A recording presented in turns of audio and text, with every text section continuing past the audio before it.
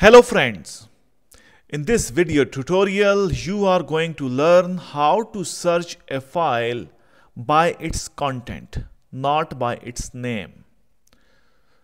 Here you can see that I have a folder with the name of FamiHow. I click on it. There is another subfolder. Then there is a file with the name of search1.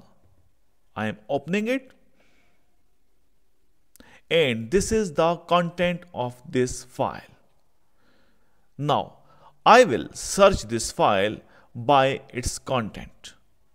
So, I will select a word. For example, here you can see that I have a word complement used in this file. So, I will search this file by the word complement. How can I do it? Now, I am closing this folder. Now, I am refreshing it. Now click on your desired folder if you know the name of your folder or you can also click on File Explorer. Then in File Explorer click in search bar. Type in search bar for example I want to type complement so I will type complement.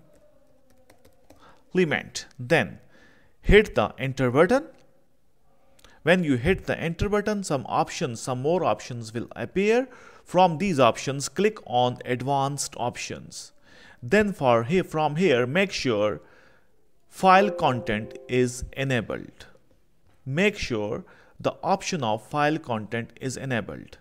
Then click on, if you know, uh, then click on current folder if you are if you were working in the same folder then you will click on the current folder and here you can see that the file in which the word complement was written has been appeared so this is how you can search a file by its content in Microsoft Word. If this video helps you in any way, please subscribe my channel and hit the like button. Thanks for watching. Thanks for your time. Goodbye.